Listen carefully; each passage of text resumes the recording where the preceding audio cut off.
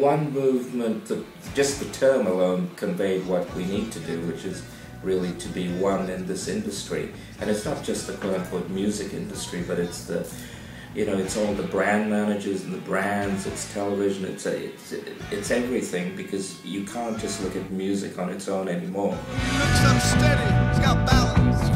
I'm not really used to coming to music conferences. I avoid them like the plague because I'm quite bored by them and because I keep meeting the same people. At least at this conference, you know, we met different people, I met different people. Um, I got to see Perth for the first time. I'm very impressed with Perth. Got to see new bands, heard different perspectives.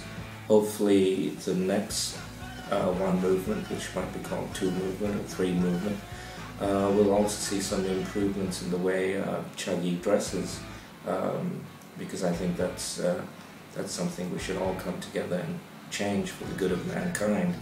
His wife is like a pillow, like a feather, like a charm. She's told him he will never come to harm. Oh, for the cunning, there's no time.